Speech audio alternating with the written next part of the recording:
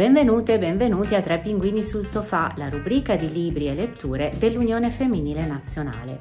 Oggi parliamo di un romanzo. La nostra ospite è Roberta Yasmin Catalano, scrittrice, già autrice di saggi, tra cui La felicità è un pezzo di pane e cioccolata, conversazioni con Tulia Carettoni Romagnoli, nel 2014 vincitore del premio Il Paese delle Donne. Il romanzo di cui parliamo si intitola La vertigine del possibile ed è eh, la sua prima opera narrativa. Le protagoniste di questa saga familiare sono due donne, Maria e Rosa, una saga ambientata nella Calabria del secolo scorso. Hanno due caratteri molto diversi, ma mi sembra accomunati da una cosa, rapporti difficili con gli uomini. In che modo le relazioni di genere eh, sono materia del romanzo, entrano nella narrazione del romanzo? Beh, sono una, una, materia proprio di base del romanzo, però ehm, è importante ricordarci che non sono relazioni di genere attuali, cioè parliamo di un secolo fa. Questo è molto importante da sottolineare perché eh, sono due donne che sicuramente hanno relazioni molto difficili con i loro mariti. Eh, io parlo molto di tradimenti, ma in realtà non sono così rilevanti perché all'epoca purtroppo era, come dire, una cosa normale. Il tradimento più grave che questi uomini hanno operato verso queste donne il fatto di non considerarle persone, non erano i loro tradimenti come li intendiamo letteralmente, la gravità diciamo. E, ehm, quello che accomuna queste due donne è anche il, poi il loro, il loro coraggio nel, nel, decidere di liberarsi da, questi, eh, da queste relazioni tossiche. Infatti il maschile non ne esce molto bene eh, sono i personaggi maschili aderenti all'ideologia di genere del loro tempo. E questo è stato un messaggio intenzionale che hai voluto dare o è venuto fuori nella farsi della storia? No, non era intenzionale perché la storia che ho scritto è basata sulla vera storia delle mie antenate, quindi diciamo io ho fatto tutto un lavoro di eh, raccolta di, di, ricordi, di lettere, di documenti, eccetera.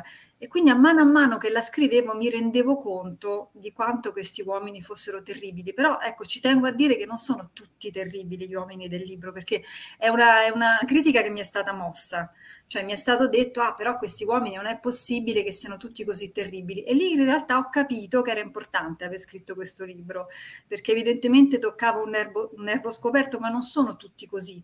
Cioè, il primo marito di Rosa era un uomo adorabile, ehm, adesso senza voler rivelare, diciamo che certi innamoramenti di Rosa sono diretti a uomini deliziosi, quindi però chiaramente i due protagonisti erano persone pessime nella realtà e io così li ho descritti. Non era intenzionale, però tutto sommato sono contenta che, che sia venuta fuori così, perché ancora più, dà ancora più forza eh, a queste donne nell'essere riuscite a ribellarsene. Com'era questa Calabria che racconti? Era una Calabria ovviamente molto lontana dalla Calabria di oggi, anche perché era una Calabria nobile.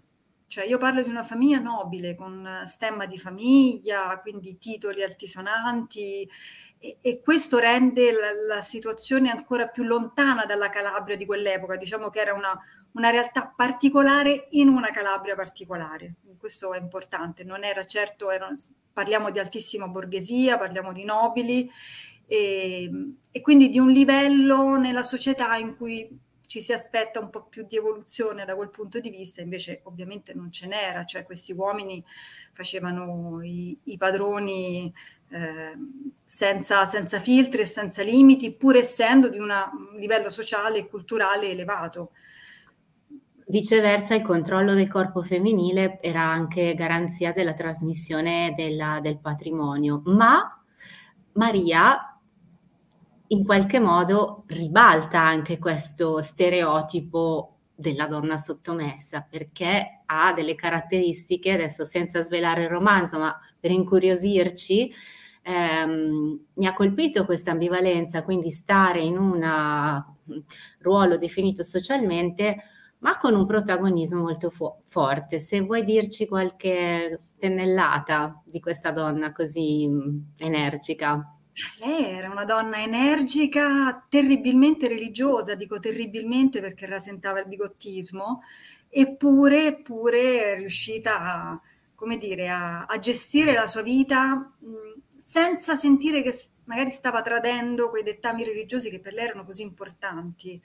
Quindi, senz'altro, il fatto che fosse una donna determinata, una donna forte, eh, l'ha aiutata, l'ha aiutata anche nella gestione delle cose pratiche, cioè all'epoca più che mai pensare a una donna che eredita un patrimonio mh, in termini di terre e, e, e, sale su un cavallo e va a dare ordine ai braccianti maschi, nella Calabria di fine 800, insomma, possiamo immaginare che reazione ha avuto su questi, su questi uomini che si sono visti arrivare un'aliena praticamente, però lei tale è stata fino alla fine.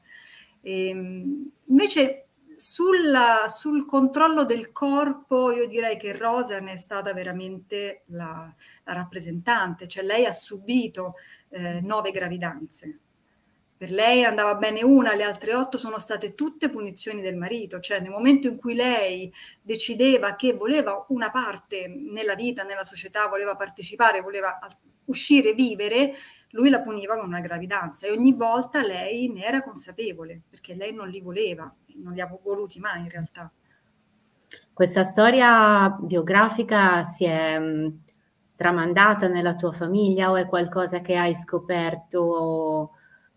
Cercando di capire di più di questo personaggio. Era noto perché era una storia talmente particolare, cioè avevamo, io stessa insomma, avevo sentito di questa bisnonna così che possiamo definire una femminista ante litteram, coraggiosissima, eh, sapevo bene di questa nonna che ho conosciuto, Rosa era mia nonna, e, e che evidentemente non aveva assolutamente senso materno e non ricordava nemmeno i nomi dei figli, però erano così, diciamo, leggende familiari che aleggiavano. Poi nel momento in cui ho deciso di, di scrivere questo romanzo e quindi di approfondire di più, mh, beh, è stata molto forte l- la consapevolezza di chi c'è stato prima di noi, che, che, è molto importante, secondo me tutti dovremmo farlo al di là poi che uno scriva un libro o meno, però capire la storia delle donne che ci hanno preceduto è, è davvero preziosissimo, anche per capire... Eh, chi erano i nostri genitori, cioè da quale patrimonio familiare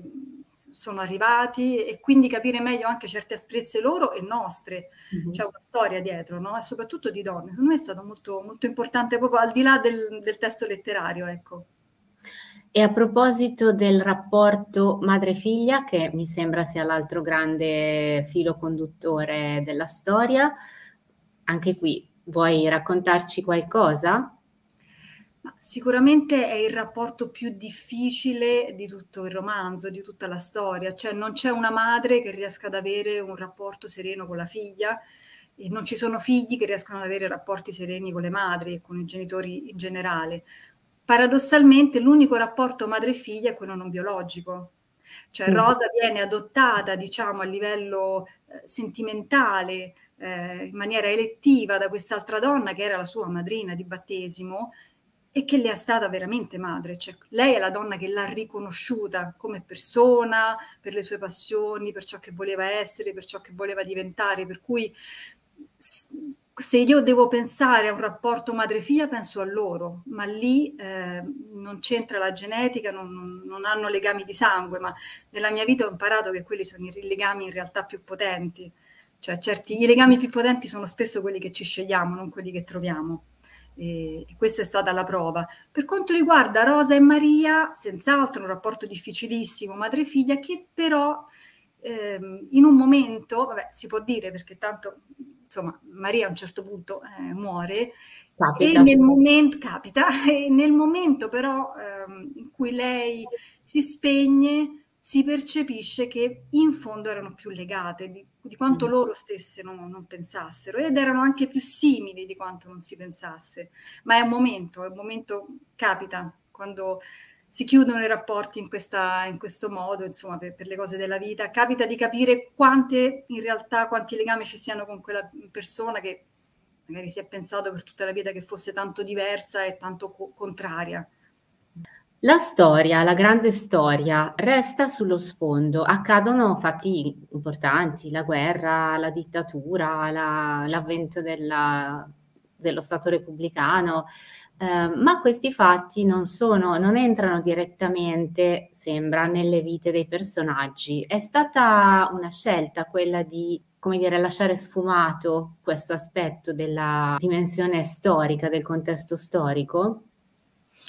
Uh, sì, è stata una scelta nella misura in cui mi sembrava importante uh, vedere come in una condizione di alta borghesia, quindi di nobiltà, eccetera, persino la grande storia, persino i drammi che pure si vedono, passano in secondo piano. Cioè era come se queste famiglie vivessero in una bolla che tutto sommato non veniva più di tanto toccata.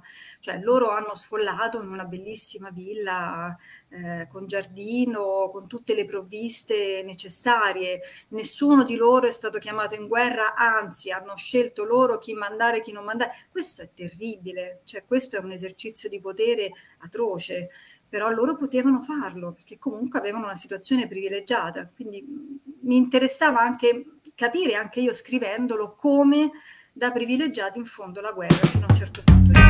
Il finale del libro, non lo svegliamo, è spiazzante e mm, quindi è un invito a leggere il libro per trovarsi di fronte a questo spiazzamento.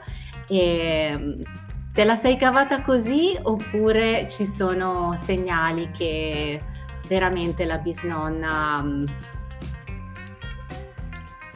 la no, la no, la no. no. Allora, io devo, devo, dire una cosa. Io ho accettato di scrivere questo libro che all'inizio non volevo scrivere per quella parte finale. Cioè, quella parte finale io la conoscevo, però pensavo che fosse uno di quei ricordi un po' sfumati dell'infanzia che poi diventano leggende. Invece, facendo le ricerche, insomma, raccogliendo le varie testimonianze, era più che vera questa parte. E io mi sono detta, io, no, io, da scrittrice, siccome non sono una biografa, non sono una storia, io non posso non scrivere una storia che termini in questo modo, che ovviamente non dirò quale sia, però è, è un modo che, che da scrittrice mi fa impazzire. Ed è anche un modo aperto in realtà, nel senso che puoi interpretare tu eh, quale fosse davvero la situazione. Ecco. Bene, ti sei divertita a scrivere questo libro? No. No. no, è stato molto doloroso, è stato molto difficile perché è un genere che non mi appartiene. Io di solito scrivo racconti o comunque il mio genere è, è onirico, è di grande introspezione psicologica. Mi piace più questo del narrare i fatti, diciamo, reali. Quindi per me è stata un po' una tortura, soprattutto all'inizio.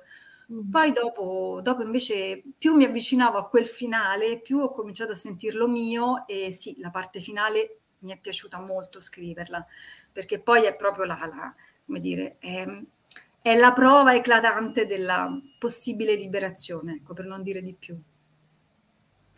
Ti ringraziamo per aver partecipato a questo ciclo di presentazioni Grazie. e buon lavoro. Grazie, grazie mille. A presto.